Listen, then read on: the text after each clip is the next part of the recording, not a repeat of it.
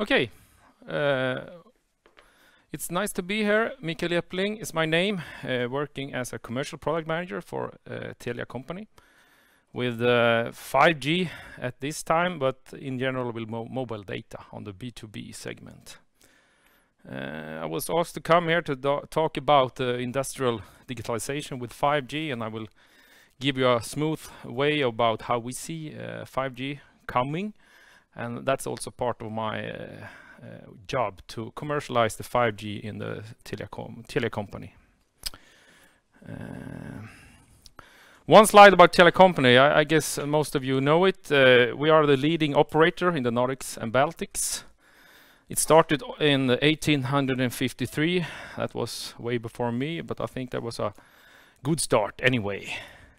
Uh, the turnover and net sales is uh, 80 billion SEK. We are around 20,000 employees, and we are the new telco, and I will tell you how we do that. Uh, the 5G is, as we see it, it's kind of a game changer for industry digitalization and also consumer experience. Uh, we used to describe it in four different pieces, but you can have, of course, many more. But one is the immersive experience with the augmented reality and things that you can do with more information for your for your mind. And a similarity I used to say is that you have most of you maybe have tried those kind of Googles, but then you have a very thick cable into a PC close to you. But if you cut that uh, and think that you are completely mobile with that kind of uh, uh, service, then you can do a lot more, and it's both in the health area, but also in the industrial area. Another area where we see a big changer is in the Industry 4.0, and I will deep dive into that later on in this presentation. 5G, from Telia Company point of view, we see it mainly to start actually in the business-to-business area. But of course, the consumer uh, demands and consumer experience will also drive this. And I think e-sport is one of these uh, areas where we see 5G could actually uh, make things more attractive. And also urbanization is one other thing that we see, and that is one thing that we have the urbanization. We need to have more and more capacity in the same area, in the same spot, in a eh, subway or something. But also, I used to take that also in an industrial point of view. If you have a lot of machines in the same place, there's a huge demand for a lot of capacity in the wireless communication and connected devices. And all in all, this creates new business models and also new technology solutions. And we are about to find which of these would be the ones uh, to use and also what kind of technical solutions is uh, is, there going to be, actually. Uh, depending on the audience, I think some technical details would be on place. 5G, it's kind of a new mobile network to enrich the businesses and the consumer experience. And if we're going to present it in different ways, you have the speed. That will be around 1 to 20 gigabits, depending on the network capacities. And then the capacity itself, it's going to be very, uh, it will be possible to have very much capacity on a square meter. So that is important for when you're dealing with some kind of implementations in an industry, for example. And I think the real time to make it real time is really where 5G is going to uh, do some changes in the connected area for communications. The 4G is in the best way, the LTE or 4G networks could come down to maybe 15 milliseconds. But when we enter into 5G, we're going to make it real time. So the things that you can do on a PC or a fiber, that is actually what you can do in a mobile environment in a 5G network. Uh, increased reliability is also one thing that are coming with this, uh, and also talking about this earlier, the sensors and the energy efficiency will also be much more better with the 5G sensors. And increased security. It's also the fundamental parts that will come with the 5G network architecture. And the thing I used to bring up here is the network slicing. Uh, where you actually can from the radio access network into the core and to back to your own intranet. You can have actually a, a specific slice, a part of the network for a specific service, a specific company, a specific uh, category of services. For example, uh, the blue light uh, organizations in Sweden could be actually one part of such a slide so that you are completely separated for all other traffic and you know what kind of capacity you have all over uh, the area. Uh, I assumed on this slide there used to be uh, questions. Okay, what about the frequencies? And I just uh, added here uh, the the the two different frequencies that are presented and planned for 5G in Sweden and in the European Union is three and a half gigahertz and also 26 to 28 gigahertz. Uh, for those of you familiar with frequency, uh, this is higher than the 4G networks as today. The 4G networks are on 800, 1800 and 2600 uh, megahertz. So this will be uh, more capacity, but the we need to build it more uh, with more uh, radio uh, radios in the network in order to feel or create the capacity and the coverage actually. Uh, and there might be also other alternative in order to build a kind of a 5G for for uh, outside in the country, I should say. Uh, the 26 to 28 gigahertz is is mainly going to be used for, as, as we see it, for industrial implementations where you have very small areas where you would like to have a very extreme uh, mobile experience in a factory in a specified area. A and one thing of this when we have done the test is it's the coverage is quite good actually, but the thing is that these kind of materials could actually stop the coverage, so you have no coverage. So it's very important that you have a free line of sight, so you have to build it in another uh, way.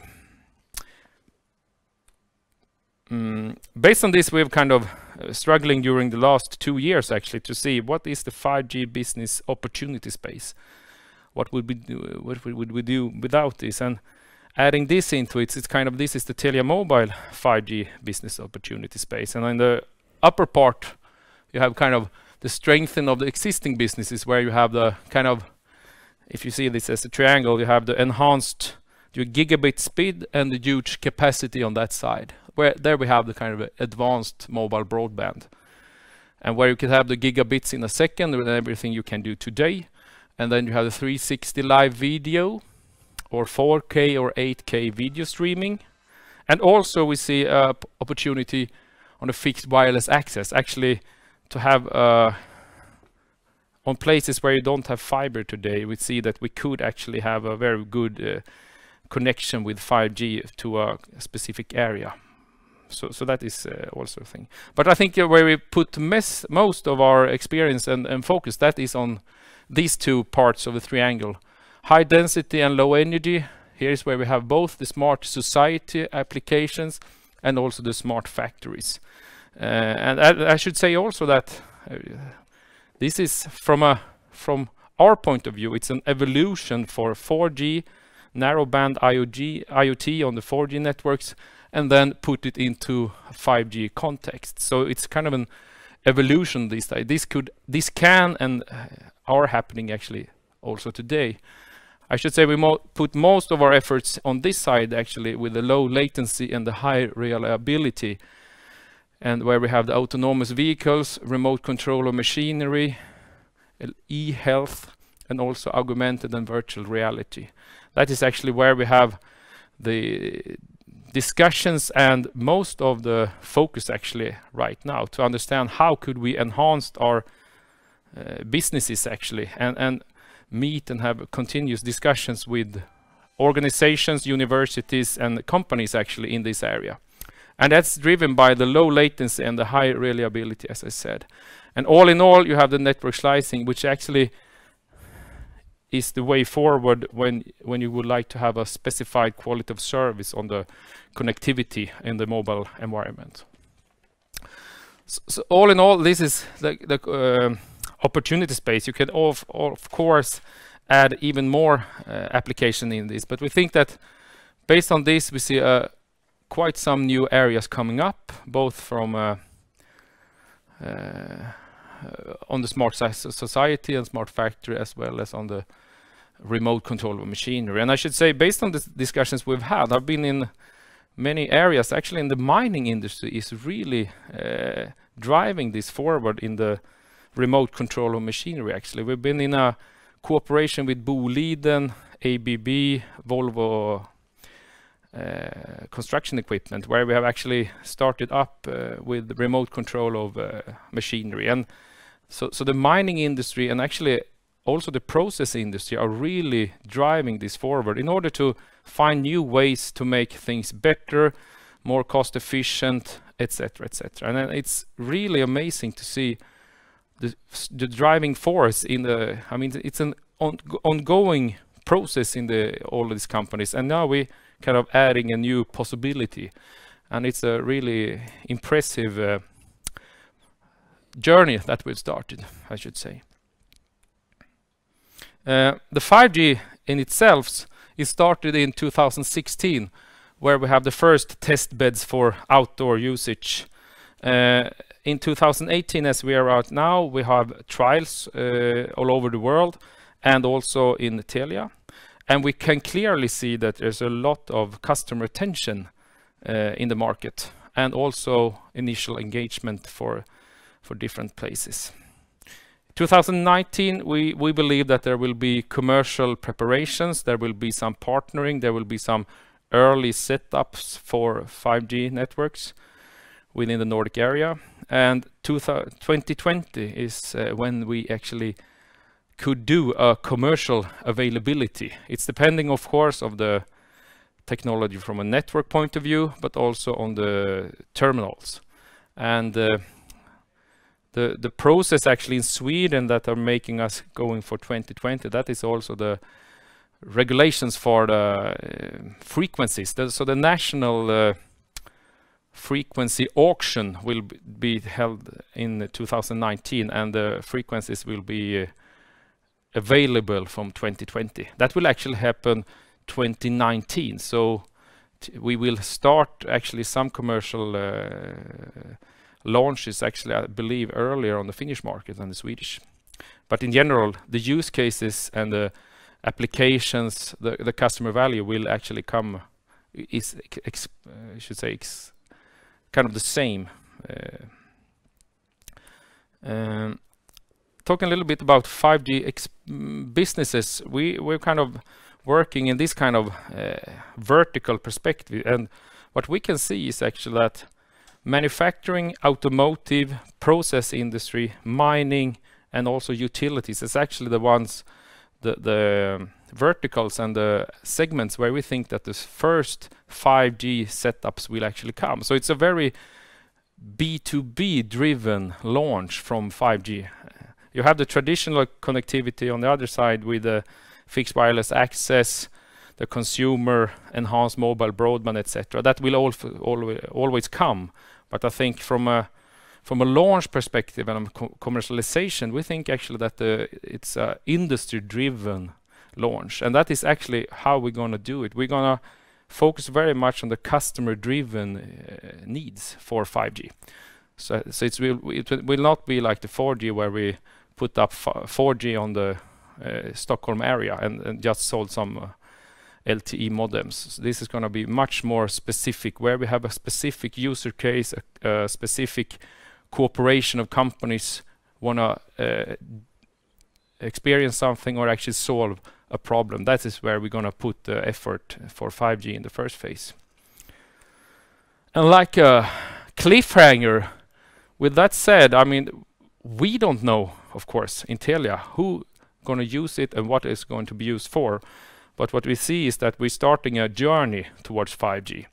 And we've also launched a journey to 5G partner program, where we invite companies, academia, uh, and cu our customers actually to be part of this kind of partner program to start the ecosystem for 5G. Uh, I mean, that's that's basically my job to really start the commercialization on 5G and how do we do that in the best way? Yeah, we do it together with those who have a, great agenda for the digitalization. So we started this journey to 5G partner program where we will try to enable business development uh, use cases and also customer IDs. This is the phase where you can have the possibility together with Telia to create insights, test your own services, try to start the journey on yourselves and, uh, and on both products and, and on the public area. And the other thing is to enable the technical development within the dedicated networks. Uh, and, and this will be kind of coordinated on the commercial terms. And, and the purpose of this and the, our gain or goal is that Telia, our partners and customers can prepare for earlier deployments, launches, and also implementations. So that is the baseline. So this is something that you could uh, bring bring back home and see how you would would be able to participate actually. Uh, we have actually two two ways of participating in, in this is the open environment uh, where we see that we will have some cooperations with some universities and uh, kind of open areas where uh, small smaller businesses, researcher, students could be able to to facilitate facilitate to make use of a 5G network. We have the 5G terminals, etc., available.